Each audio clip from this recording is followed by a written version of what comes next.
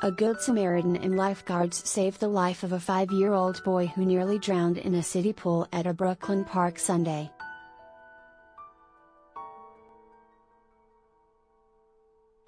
A nearby swimmer saw the boy face down in the pool at McCarren Park around 7:10 p.m. and jumped into action before the lifeguards on duty reacted, according to the quick-thinking man and a witness.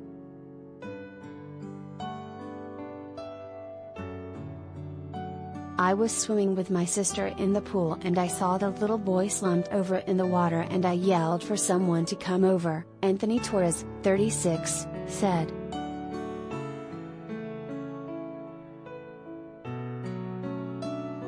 Torres, of Long Island City, said no one was making an effort to jump in after the child who was submerged and slumped over, face down.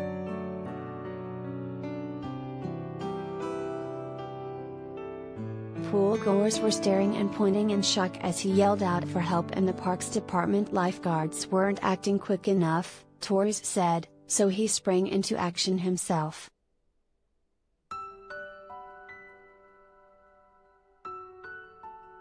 Torres, who was a lifeguard himself for two years, dove down and grabbed the boy.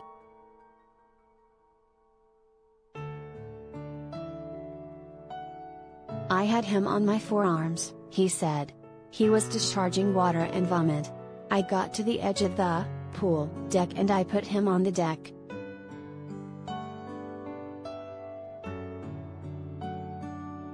Torres said he turned the boy over so he could spit up pool water and at that point, two lifeguards came over to do CPR.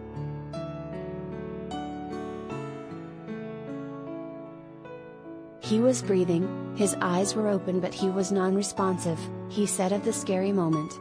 I tried to pick his hands up but he was lifeless.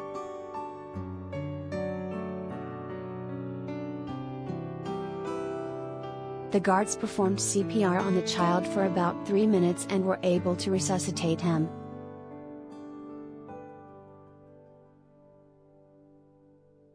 They did CPR for like 3 minutes and he came to, he said.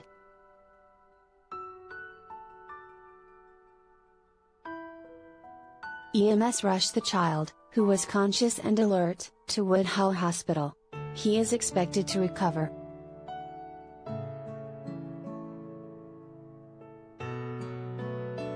A witness also credited Torres with taking the vital first step to save the boy.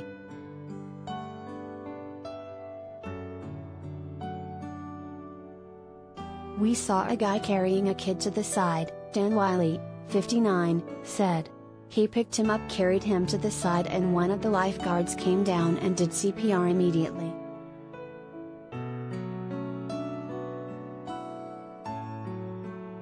Wiley said the lifeguards were using precious time arguing about what they should do instead of leaping into action.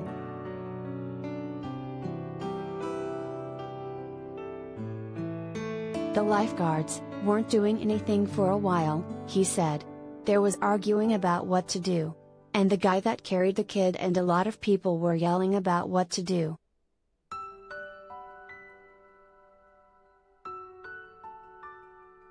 However, he credited the guard who successfully administered CPR.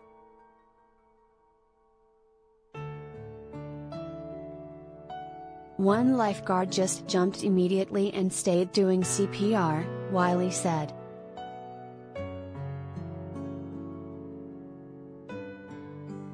After the near drowning, the Parks Department and the NYPD closed down the pool, which was scheduled to remain open until 8 p.m. due to the ongoing heat wave, to investigate the incident.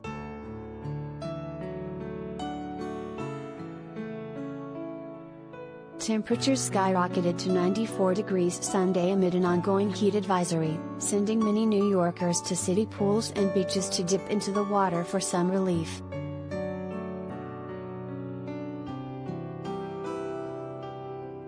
The incident came as New York City, like much of the country's coast, is dealing with a lifeguard shortage that has forced city officials to prohibit swimming in sections of beaches and cut pool programming. The city has increased the starting wages for Parks Department lifeguards in an effort to attract more to the job.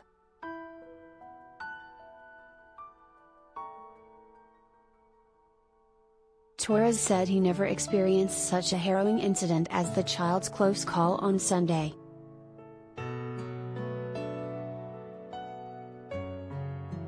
It was dramatic, he said. I was a lifeguard for two years and never seen anything like this.